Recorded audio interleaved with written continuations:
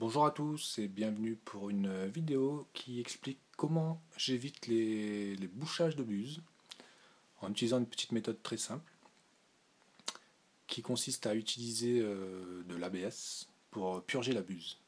Donc là, voilà un bout d'ABS que j'ai,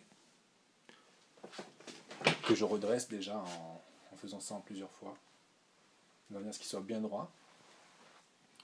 Et ensuite, j'ai à l'intérieur du PLA, et j'ai choisi une couleur d'ABS qui me restait, euh, qui contraste euh, assez bien avec la couleur euh, du PLA, de manière à ce que quand je purge, je verrai les dépôts de couleur grise sur ce filament rouge.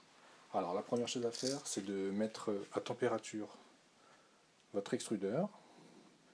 Pour ça, je vais le mettre à la température du PLA.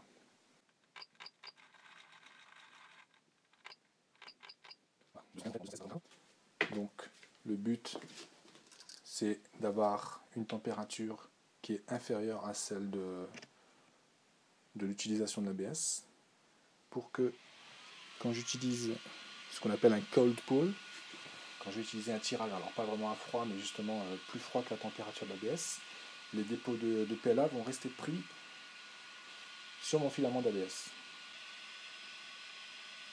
Alors mon extrudeur est maintenant à température. Je vais pouvoir extraire le PLA en place. Voilà. Je peux l'enlever. Maintenant j'utilise mon bout d'ABS pour l'insérer. Donc en appuyant ici, j'empêche la pression des ressorts et du roulement. Je vais appuyer.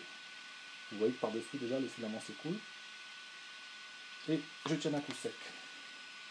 Et regardez ce qui se passe. Vous voyez Sur le filament d'ABS, j'ai des dépôts de PLA. Et ça, si on imprime par exemple en ABS par la suite, et eh bien ce dépôt va, va brûler à l'intérieur de votre buse et, et va la boucher. Donc c'est pour ça qu'il faut faire ça jusqu'à temps que votre filament ressorte bien propre. Donc pour ceux qui ne connaissent pas, on coupe bien en biseau et je recommence l'opération.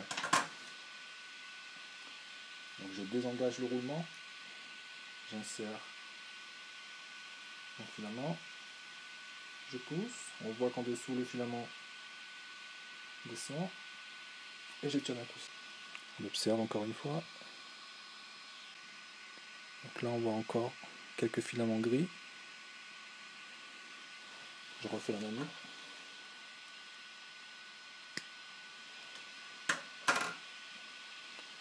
Je redresse bien mon filament.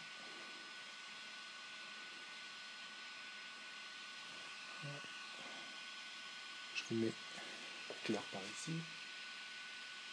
Je pense que à la troisième fois, ça sera bien. On observe à nouveau. Si j'arrive à faire la mise au point pas évident. Hein. Je sais pas trop comment vous montrer. Bon là, quoi qu'il en soit, mon filament, cette fois-ci, il est propre. J'ai plus de dépôt gris dessus. Donc ça veut dire que ma buse est maintenant propre. Donc je peux par exemple passer à l'ABS pour euh, imprimer donc en ABS, ou je peux revenir à du PLA, euh, quel que soit euh, le filament que je vais réutiliser. Je sais que ma buse est, parfaitement propre. Voilà la méthode que j'utilise pour pour éviter les bouchages de buse. Donc j'espère que cette méthode vous servira à vous aussi.